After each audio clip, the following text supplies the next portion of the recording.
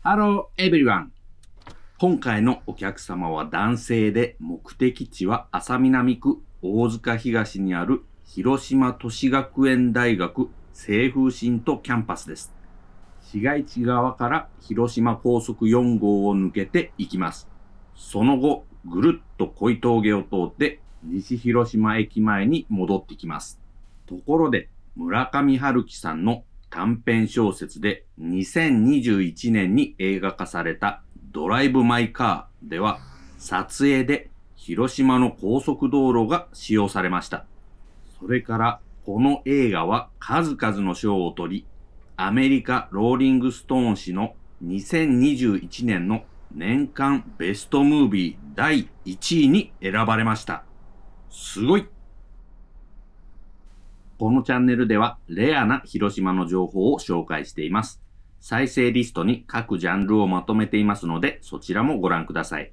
今後もどんどん更新していきますので、まだの方はチャンネル登録をよろしくお願いします。それでは行きましょう。レッツラゴードライブ・マイ・カーが収められている短編小説集のタイトルは、女のいない男たちだそうで、まあ僕は読まなくてもいいかなと思っています。タイトルがね、あんまり気に入らない。なんかこう、うるせえって感じでね。映画のドライブ・マイ・カーは広島各地でロケをされてるようなので、それを見に行こうかなと思っています。今回の動画は夏に撮影したものです。広島の夏の朝の感じが録画できていると思いますので、そちらもお楽しみください。それでは見ていきましょう。どうぞ。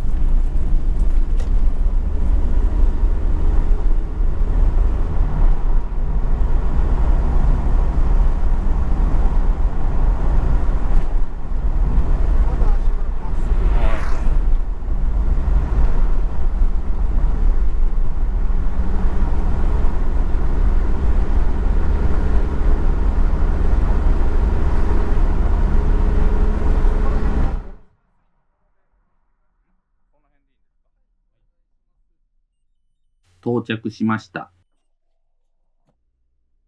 これからアストラムラインの方に降りて、恋峠をぐるりと通って西広島駅に戻ろうと思います。